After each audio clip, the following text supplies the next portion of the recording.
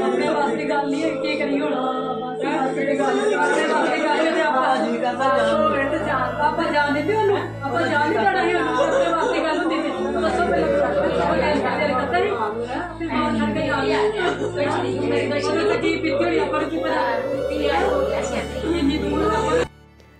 ਪਰਸੋਂ ਹਲੇ ਚੰਗਾ ਭਲਾ ਮੁੰਡਾ ਆਪਣੇ ਮਾਪਿਓ ਦੇ ਨਾਲ ਗੱਲ ਕਰਦਾ ਹੈ, ਪਰ ਅਚਾਨਕ ਹੀ ਉਸ ਮੁੰਡੇ ਦੇ ਦੋਸਤ ਦਾ ਫੋਨ, ਜੋ ਕਿ ਵਿਦੇਸ਼ ਦੇ ਵਿੱਚ ਹੀ ਇਹਨਾਂ ਦੇ ਪੁੱਤ ਦੇ ਨਾਲ ਰਹਿ ਰਿਹਾ ਸੀ, ਉਸ ਦਾ ਫੋਨ ਪਿਓ ਨੂੰ ਆਂਦਾ ਹੈ ਕਿ ਤੁਹਾਡਾ ਪੁੱਤ ਮੁੱਕ ਚੁੱਕਿਆ ਹੈ। ਇਹ ਸੁਣਨ ਤੋਂ ਬਾਅਦ ਉਹਨਾਂ ਨੂੰ ਭੋਰਾ ਵੀ ਯਕੀਨ ਨਹੀਂ ਹੋਇਆ। ਹੋ ਵੀ ਕਿਵੇਂ ਸਕਦਾ ਸੀ ਜਦੋਂ ਚੰਗੇ ਭਲੇ ਮੁੰਡੇ ਦੇ ਨਾਲ ਹੱਟਾ ਖੱਟਾ ਜਵਾਨ ਪੁੱਤ, ਜਿਸ ਦਾ ਨਾਮ ਵਿਪਨ ਸੀ, ਉਮਰ ਕਰੀਬ 28 ਸਾਲ ਦੀ ਸੀ, ਉਸ ਦੇ ਨਾਲ ਇਹ ਮਾੜਾ ਭਾਣਾ ਵਾਪਰ ਗਿਆ।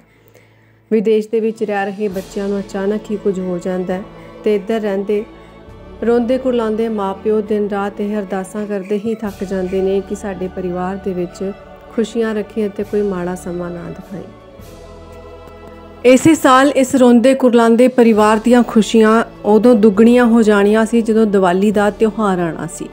ਉਸ ਤਿਉਹਾਰ ਦਾ ਇੰਤਜ਼ਾਰ ਕੀਤਾ ਜਾ ਰਿਹਾ ਸੀ ਕਿਉਂਕਿ ਇਸ ਦਿਨ ਨਾ ਸਿਰਫ ਉਹਨਾਂ ਦਾ ਘਰ ਰੋਸ਼ਨ ਹੋਣਾ ਸੀ, ਸਗੋਂ ਉਹਨਾਂ ਦਾ ਪੁੱਤ ਜੋ ਕਿ ਵਿਦੇਸ਼ ਦੇ ਵਿੱਚ ਗਿਆ ਸੀ, ਉਸ ਦੇ ਆਉਣ ਦੇ ਨਾਲ ਪਰਿਵਾਰਕ ਮੈਂਬਰਾਂ ਦਾ ਮਨ ਵੀ ਰੋਸ਼ਨ ਹੋ ਜਾਣਾ ਸੀ।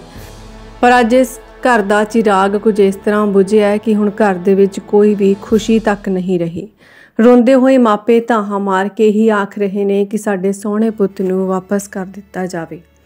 ਇਹ ਘਟਨਾ ਕੈਨੇਡਾ ਦੇ ਵਿੱਚ ਰਹਿੰਦੇ ਵਿਪਨ ਕੁਮਾਰ ਦੇ ਨਾਲ ਵਾਪਰੀ ਹੈ, ਜੋ ਕਿ ਪਿੱਛੋਂ ਇੱਧਰ ਤਰਨਤਾਰਨ ਦਾ ਰਹਿਣ ਵਾਲਾ ਸੀ। ਉੱਥੇ ਰਹਿੰਦੇ ਹੋਏ ਉਸ ਨੂੰ ਦਿਲ ਦਾ ਦੌਰਾ ਪਿਆ, ਜਿਸ ਦੇ ਕਾਰਨ ਉਸ ਦੀ ਜਾਨ ਗਈ ਹੈ। ਮ੍ਰਿਤਕ ਦੇ ਪਿਤਾ ਰਾਜਵਿੰਦਰ ਕੁਮਾਰ ਰਾਜੂ ਨੇ ਦੱਸਿਆ ਕਿ ਉਸ ਦਾ ਛੋਟਾ ਬੇਟਾ ਵਿਪਨ ਜਿਸ ਦੀ ਉਮਰ ਕਰੀਬ 28 ਕੁ ਸਾਲ ਦੀ ਸੀ, ਬੀਤੇ ਕੁਝ ਸਾਲ ਪਹਿਲਾਂ ਹੀ ਪੜ੍ਹਾਈ ਕਰਨ ਦੇ ਲਈ ਕੈਨੇਡਾ ਗਿਆ ਸੀ। ਮੰਗਲਵਾਰ ਦੇਰ ਸ਼ਾਮ ਨੂੰ ਵਿਪਨ ਦੀ ਅਚਾਨਕ ਹੀ ਤਬੀਅਤ ਖਰਾਬ ਹੁੰਦੀ ਹੈ। ਜਿਸ ਤੋਂ ਬਾਅਦ ਉਸ ਨੂੰ ਹਸਪਤਾਲ ਲਿਜਾਇਆ ਗਿਆ, ਪਰ ਡਾਕਟਰਾਂ ਨੇ ਉਸ ਦਾ ਇਲਾਜ ਕਰਨ ਤੋਂ ਬਾਅਦ ਦੱਸਿਆ ਕਿ ਉਸ ਦੇ ਵਿੱਚ ਕੁਝ ਵੀ ਨਹੀਂ ਬਚਿਆ ਅਤੇ ਉਸ ਨੂੰ ਮ੍ਰਿਤਕ ਐਲਾਨ ਦਿੱਤਾ ਗਿਆ। ਪਰਿਵਾਰਕ ਮੈਂਬਰਾਂ ਨੂੰ ਫੋਨ ਦੇ ਰਾਹੀਂ ਜਦੋਂ ਇਸ ਸੰਬੰਧੀ ਦੋਸਤਾਂ ਦੇ ਵੱਲੋਂ ਸੂਚਨਾ ਦਿੱਤੀ ਗਈ ਤਾਂ ਪਰਿਵਾਰ ਵਾਲਿਆਂ ਨੂੰ ਇਸ ਤੇ ਯਕੀਨ ਨਹੀਂ ਹੋਇਆ, ਪਰ ਇੱਕ ਮਾੜਾ ਭਾਣਾ ਇਸ ਪਰਿਵਾਰ ਦੇ ਨਾਲ ਵਾਪਰ ਚੁੱਕਿਆ, ਜਿਸ ਦੇ ਵਿੱਚ ਮ੍ਰਿਤਕ ਵਿਪਨ ਕੁਮਾਰ ਆਪਣੇ ਪਿੱਛੇ ਰੋਂਦੇ ਕੁਰਲਾਉਂਦੇ ਹੋਏ ਮਾਪਿਓ ਨੂੰ ਅਤੇ ਵੱਡੇ ਭਰਾ ਨੂੰ ਛੱਡ ਗਿਆ ਦੁਨੀਆ ਨੇ ਭੇਜਿਆ ਤੇ ਹੁਣ ਕਿਸ ਤਰ੍ਹਾਂ ਤੁਹਾਨੂੰ ਪਤਾ ਲੱਗਾ ਜੀ? 2018 ਦਸੰਬਰ 12 ਦਸੰਬਰ ਤੇ ਗਏ। ਆਹ ਦਸੰਬਰ ਨੂੰ 7 ਸਾਲ ਹੋਏ ਨੇ। ਪੜ੍ਹਾਈ ਬੇਸ ਤੇ ਗਿਆ ਸੀ। ਚਲੋ ਇੱਕ ਬੇਟਾ ਦੁਕਾਨ ਤੇ ਬੈਠਾ ਸੀ ਦੂਜਾ ਕਹਿੰਦਾ ਮੈਂ ਚਲੋ ਮੈਂ ਬਾਹਰ ਜਾ ਕੇ ਸਟੱਡੀ ਕੋਰਸ ਕੀ ਕਰਦਾ ਗੁੱਡਾ ਤੋਂ ਕੇ ਭੇਜਿਆ ਸੀ। ਕਿੰਨੇ ਸਾਲ ਹੋ ਗਏ ਜੀ? ਆਹ ਦਸੰਬਰ 7 ਸਾਲ ਹੋਏ ਨੇ। ਹੁਣ ਤੁਹਾਨੂੰ ਕਿਸ ਤਰ੍ਹਾਂ ਪਤਾ ਲੱਗਾ ਜੀ? ਕੱਲ ਫੋਨ ਆਇਆ ਸੀ ਸਾਹਮਣੇ ਹਸਪੀਟਲ ਤੋਂ ਟੈਗ ਹੋ ਗਿਆ। ਕਿੰਨੀ ਉਮਰ ਕਿੰਨੀ ਬੇਟੇ ਦੀ 24 ਸਾਲ ਕੀ ਨਾਂ ਹੈ ਮੁੰਡੇ ਦਾ? ਬੜਾ ਰੋੜਾ ਤੇ ਤੁਸੀਂ ਸਰਕਾਰ ਜਾਂ ਸਮਾਜ ਸੇਵੀ ਸੰਸਥਾ ਨੂੰ ਕੀ ਮੰਗ ਕਰਦੇ ਹੋ ਡੈਡ ਲਈ ਇਹਨਾਂ ਨੂੰ ਉਹਦਾ ਪ੍ਰੋਸੀਜਰ ਫਾਲੋ ਕਰਕੇ ਸਹਾਇਤਾ ਕੀਤੀ ਜਾਵੇ ਡੈਡ ਬੜੀ ਜਲਦੀ ਭੇਜੀ ਜਾਵੇ। ਤੁਹਾਡੇ ਕਹਿੰਦੇ ਕਿ ਪੇਟ ਤੇ ਇੰਡੀਆ ਆਉਣਾ ਸੀ ਵਾਪਸ 7 ਸਾਲ ਬਾਅਦ? ਹਾਂ ਇੱਥੇ ਦਿਵਾਲੀ ਤੇ ਵਾਪਸ ਆ ਰਿਹਾ ਸੀ। ਕੀ ਲੱਗੇ ਤੁਹਾਡੀ ਕਦੋਂ ਲਾਸਟ ਟਾਈਮ ਗੱਲ ਹੋਈ? ਪਰਸੋਂ ਗੱਲ ਹੋਈ। ਦੇਖੋ ਜੀ ਅੱਜ ਪੰਜਾਬ ਭਰ ਦੇ ਵਿੱਚ ਵੱਖ-ਵੱਖ ਕੰਟਰੀਆਂ ਦੇ ਵਿੱਚੋਂ, ਬਾਹਰ ਦੇ ਕੰਟਰੀਆਂ ਦੇ ਵਿੱਚੋਂ ਜਿਹੜੀਆਂ ਦੁਖਦਾਈ ਖਬਰਾਂ ਆਉਂਦੀਆਂ ਪਈਆਂ ਨੇ। ਸਭ ਤੋਂ ਜ਼ਿਆਦਾ ਖਬਰ ਇਹ ਆਉਂਦੀ ਪਈ ਆ ਵੀ ਜਿਹੜੇ ਨੌਜਵਾਨ ਜਿਹੜੇ ਨੇ ਸਟੂਡੈਂਟ ਬੇਸ ਤੇ ਗਏ ਨੇ, ਉਹਨਾਂ ਦੇ ਦਿਲ ਦੇ ਦੌਰੇ ਦੇ ਪੈਣ ਦੀ ਜਿਹੜੀ ਮੌਤਾਂ ਦੀ ਖਬਰਾਂ, ਸਭ ਤੋਂ ਜ਼ਿਆਦਾ ਮੌਤਾਂ ਦੀ ਖਬਰਾਂ ਆਉਂਦੀਆਂ ਇਹ ਜਿਹੜੀ ਖਬਰ ਆ, ਇਹ ਆਪਣੇ ਆਪਣੇ ਇੰਡੀਆ ਦੇ ਵਿੱਚ ਵੀ ਖਬਰਾਂ ਬਹੁਤ ਘੱਟ ਸੁਣਨ ਨੂੰ ਮਿਲਦੀਆਂ, ਪਰ ਪੰਜਾਬ ਤੋਂ ਬਾਹਰ ਜਿਹੜੀਆਂ ਖਬਰਾਂ ਸੁਣਨ ਨੂੰ ਮਿਲਦੀਆਂ ਵੀ ਇੱਕ ਮਾਂ ਪਿਓ ਦੀ ਆਪਣੀਆਂ ਆਂਦਰਾਂ, ਆਪਣਾ ਇੱਕ ਜਿਗਰ ਦਾ ਟੁੱਟਾ ਭੇਜ ਕੇ ਉੱਥੇ ਬਾਹਰ ਭੇਜਦਾ ਬੱਚੇ ਨੂੰ ਆਪਣੇ ਨੂੰ ਉਹਦਾ ਫਿਊਚਰ ਬਾਰੇ ਸੋਚਦਾ ਵਾ। ਪਰ ਜਦੋਂ ਮਾਂ ਪਿਓ ਨੂੰ ਇਹ ਚੀਜ਼ ਖਬਰ ਮਿਲਦੀ ਆ, ਉਹਨਾਂ ਦੀ ਜਿਹੜੀਆਂ ਆਂਦਰਾਂ ਵਾ, ਟੁੱਟ ਜਾਂਦੀਆਂ, ਜਿਹੜੀਆਂ ਲੱਕ ਦਾ ਰੀੜ ਦੀ ਰੀੜ ਟੁੱਟ ਜਾਂਦੀ ਆ। ਮੈਂ ਸਰਕਾਰਾਂ ਨੂੰ ਬੇਨਤੀ ਕਰਨਾ ਚਾਹੁੰਦਾ ਵਾਂ ਵੀ ਇੱਥੇ ਇਹੋ ਜਿਹਾ ਇੱਕ ਸਿਸਟਮ ਬਣਾਇਆ ਜਾਵੇ, ਜਿਹੜੇ ਆਪਣੇ ਨੌਜਵਾਨ ਜਿਹੜੇ ਆ, ਇੱਥੇ ਬੱਚੇ ਆ, ਉਹ ਇੱਥੇ ਪੜ੍ਹ ਲਿਖ ਕੇ ਵਧੀਆ ਅਫਸਰ ਬਣ ਜਾਣ।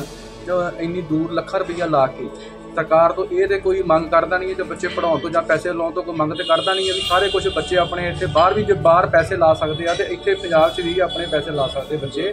ਪਰ ਸਰਕਾਰਾਂ ਨਕਮੀਆਂ ਹੋਣ ਦੇ ਕਾਰਨ ਕਰਕੇ, ਜਿਹੜੇ ਮਾਪਿਓ ਦੁਖੀ ਹੋਣ ਕਰਕੇ ਆਪਣੇ ਜਿਹੜੇ ਬੱਚੇ ਆ ਉਹ ਬਾਹਰ ਭੇਜ ਰਹੇ ਨੇ।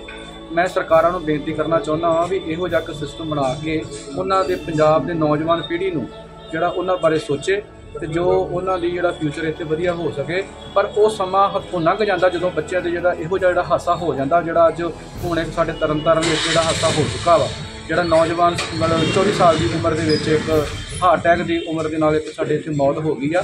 ਉਸ ਬੱਚੇ ਨੇ, ਉਸ ਪਰਿਵਾਰ ਨੇ ਪਤਾ ਨਹੀਂ ਹਜ਼ਾਰਾਂ ਸੁਪਨੇ ਸਜਾਏ ਹੋਣਗੇ, ਆਪਣੇ ਪਰਿਵਾਰ ਦੇ ਨਾਲ, ਆਪਣੇ ਇਨ ਫਿਊਚਰ ਦੇ ਨਾਲ ਉਹ ਸਾਰੇ ਚਕਨਾਚੂਰ ਹੋ ਗਏ ਨੇ ਤੇ ਸਰਕਾਰਾਂ ਨੂੰ ਬੇਨਤੀ ਆ ਵੀ ਉਹਦੀ ਹੁਣ ਇੱਕ ਜਿਹੜੀ ਡੈੱਡ ਬਾਡੀ ਆ, ਉਹ ਛੇਤੀ ਤੋਂ ਛੇਤੀ ਲਿਆ ਕੇ ਮੈਂ ਐਨ ਆਰ ਆਈਆਂ ਵੀਰਾਂ ਨੂੰ ਬੇਨਤੀ ਕਰਨਾ ਚਾਹੁੰਦਾ ਵਾਂ ਵੀ ਇਸ ਪਰਿਵਾਰ ਦੀ ਜ਼ਰੂਰ ਮਦਦ ਕੀਤੀ ਜਾਵੇ, ਕਿਉਂਕਿ ਪਰਿਵਾਰ ਦੇ ਵਿੱਚ ਇਸ ਟਾਈਮ ਜਿਹੜੀ ਆ ਸ਼ਕਤੀ ਜਿਹੜੀ, ਜਿਹੜਾ ਉਹਨਾਂ ਦਾ ਹਾਲਾਤ ਜਿਹੜੇ ਉਹਨਾਂ ਦੇ ਬਣੇ ਹੋਏ ਨੇ, ਉਹ ਮਤਲਬ ਦੇਖਣਯੋਗ ਨਹੀਂ ਹੈਗੇ। ਤੇ ਉਹਨਾਂ ਨੂੰ ਬੇਨਤੀ ਕਰਨਾ ਚਾਹੁੰਦਾ ਐਨ ਆਰ ਆਈ ਜਿਹੜੇ ਬਾਹਰ ਮੇਰੀ ਇਸ ਵੀਡੀਓ ਨੂੰ ਦੇਖ ਰਹੇ ਨੇ ਉਹਨਾਂ ਦਾ ਜਿਹੜਾ ਬਾਹਰ ਉਹਨਾਂ ਦੇ ਬ੍ਰਮਟਨ ਦੇ ਵਿੱਚ ਜਿਹੜੇ ਸਿਵਲ ਹਸਪੀਟਲ ਦੇ ਵਿੱਚ ਉਹਨਾਂ ਦੀ ਡੈੱਡ ਬੋਡੀ ਪਈ ਹੋਈ ਨੇ ਤੇ ਉਹਨਾਂ ਨੂੰ ਬੇਨਤੀ ਕਰਨਾ ਚਾਹੁੰਦਾ ਹਾਂ ਵੀ ਉਹਨਾਂ ਦੀ ਪਰਿਵਾਰ ਦੀ ਮਦਦ ਕਰਕੇ ਉਹਨਾਂ ਦੀ ਡੈੱਡ ਬੋਡੀ ਛੇਤੀ ਤੋਂ ਛੇਤੀ ਇੱਥੇ ਪਹੁੰਚਾਉਣ ਦੀ ਕਿਰਪਾ ਕੀਤੀ ਜਾਵੇ। ਰਾਜਵਿੰਦਰ ਜੀ ਬੜੇ ਸੀਨੀਅਰ ਪੱਤਰਕਾਰ ਹੈ ਜਰਨਲਿਸਟ ਹੈ।